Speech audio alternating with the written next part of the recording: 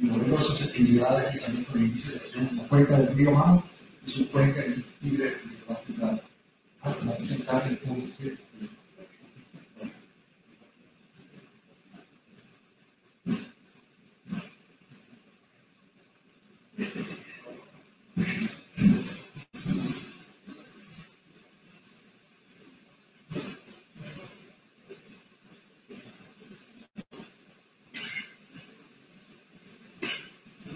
Central. Ah,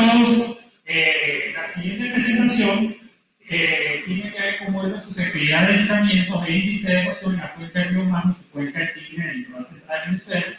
Los ponentes somos Rafael Batista, Rafael Batista, que soy yo, creador de este estudio de ambiente, y el profesor Sayer Grupo, el profesor jubilado de CCR, que también trabaja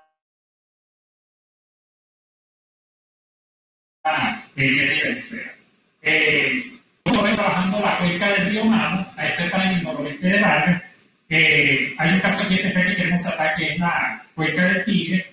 Eh, lo que queremos es, eh, con este trabajo, aquí tenemos una foto de la cuenca, ¿no? Eh, cartografía la propensa de deslizamiento y la erosión hídrica, ¿no? aplicando la dinámica geomorfológica y para tanto a la cuenca del hermano como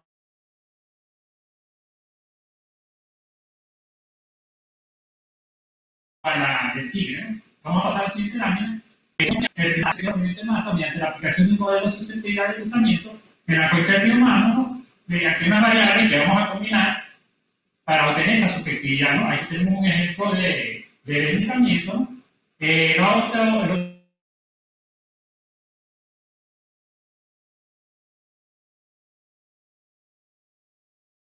el identificar ya, vamos a la, la puede ser en caso, ¿no? Así esta es la, metodología de que se va a combinar cinco mapas o capas temáticas para hacer unos factores de potencia, como son los deslizamientos de, de la cuenca, con la vegetación, la morfología, la litología, la pendiente, la vegetación de la tierra.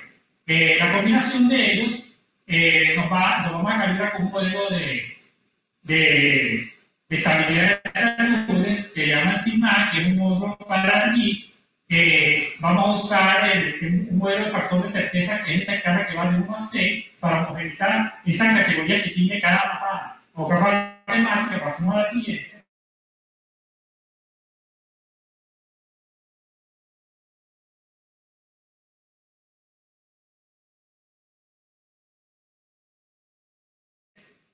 Aquí tenemos, estos son los mapas de pensamiento, que Y de, de la cuarta a la sexta ya tiene que haber estabilidad en el terreno. ¿Mm? Eso es, ahí en la, en la gráfica anterior tenía unos valores que van de negativo a positivo. Cuando se vuelven positivos, tiende a ser el terreno estable cuando son negativos inestables. La siguiente lámina. Al combinar eso, eh, generamos un mapa simple que es susceptibilidad de deslizamiento. Eh, aquí están las categorías de factores de certeza. Eh, tenemos ahí en realidad en vez de 6.5, porque no, no hay otra línea estable. Entonces, fíjense los, los, valores que nos dieron. Ahí predomina la incertidumbre, eh, un 47% del área. Eh, tenemos entonces que alta estabilidad en 1%, mediana estabilidad un 23%, mediana estabilidad un 1% y baja estabilidad 29%. Entonces tenemos que el 30% de la cuenca, ¿no? Aquí, esta parte de abajo presenta mediana inestabilidad, eh, lo, el color naranja, y baja inestabilidad, el color amarillo. O sea, eh, eh, hay un 30% de la cuenca que tiene inestable y el otro resto, lo que es la, eh, la incertidumbre, la, más la mediana estabilidad, podríamos decir que el, resto de la cuenca, un 70%, tiende a ser estable. O sea, la parte media a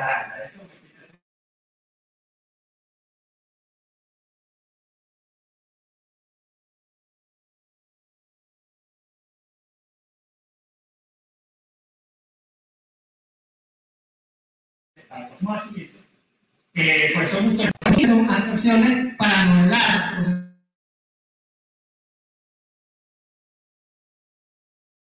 procesos Entonces se define como E igual a E acumulada y S correspondiente a la pendiente. De los tres índices de erosión, los que mejor nos resultados son el 2, el USP o potencia unitaria de flujo, el cual mide la erosión en los bordes del río, en este caso. Y el ESSP, o potencia de flujo importante, el cual mide la en el lecho del río. Entonces, simplemente con estos índices vamos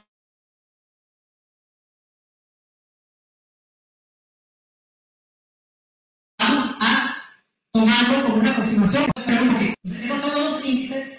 Entonces, el área de drenaje acumulada, ¿cómo se calcula? Hay un módulo de aquí llamado hydrology, en el cual se utilizan estos comandos. Lo que es el relleno, la acumulación de flujo y el, eh, lo que la, la dirección de flujo.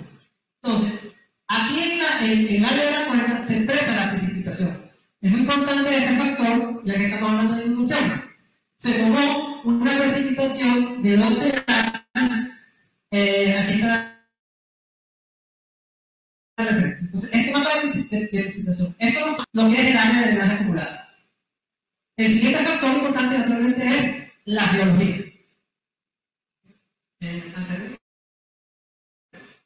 Ah, la litología. Entonces, es la composición litológica del área de estudio. Se le asignan pesos a la litología, en este, en este caso la roca, solamente se consigue rocas roca de tipo eh, metamórfica y sedimentaria. Se le asignan pesos y esto es lo que conforma el valor K. Luego, a partir, naturalmente partimos del modelo digital de relación, como fue el que se tomó el SNTM de 30 metros, y a partir de ese modelo se deriva el dependiente. Se trabaja en unidades de porcentaje para que sea dimensional multiplicado por 0.01 y esto se nos construye los índices. Entonces, acuérdense el, los exponentes que van a dar si es el USP o el SNSP. Siguiente. Entonces, este es el primer resultado. Para el índice USP con precipitación y litología, ya se observa la erosión en el río el curso principal. Con este índice vemos ya, eh, una tendencia a la erosión. En este caso, el USP, como les modela la erosión en los bordes. El siguiente índice, el SSP mire, ya se observa mejor con más detalle. Entonces, ahí tomamos lo que es un estudio particular, nos llamó la atención, la subcuenca Tigre. Vean que aquí la erosión es alta. Entonces, aquí hay un, acercamiento de la subcuenca Tigre, ¿ok?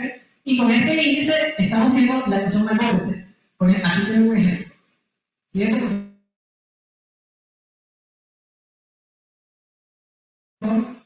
Entonces vamos a hablar un poquito del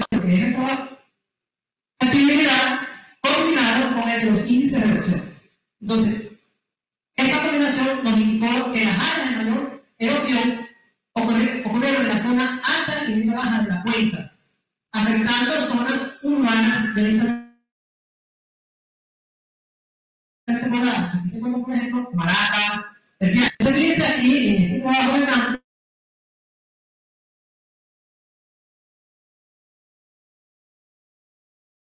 vean cómo afectación. Que aquí, después de la es de sedimentos. Y vean no solamente afecta a viviendas, sino que fíjense aquí, durante la creación, afectó el canal del río. Incluso, que se detalles, no son las carillas donde se pone el trabajo. Y las losas, vean que aquí faltan, las, en los dice yo. Siguiente.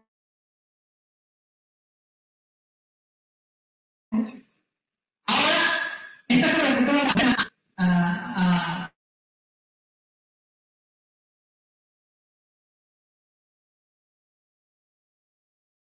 la primera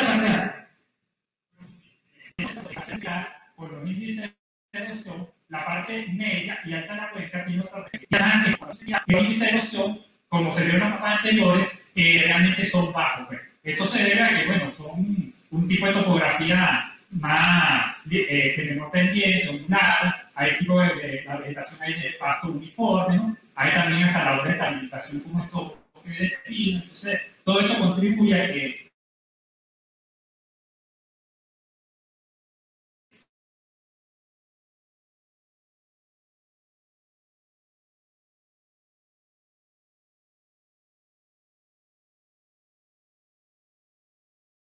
sea un poco más estable y en el 99 ahí no ocurrieron mayores misma presenta una media imagen de estabilidad. O sea que estas cuentas pequeñas, ahí es donde hay sector, gran cantidad de lanzamientos y los índices de erosión también son altos. Pero el STP, que es esto que te ven aquí en rojo, es bastante alto. Esto que tenemos aquí en la, la limitación de la cuenta, fíjense los lanzamientos que, hay, de, que se han en el año 51, 99, y esto que ven aquí está en Romana, es precisamente Ciudad Caribe, que han construido ahí, y oye, eso también ha contribuido a que haya mayor erosión.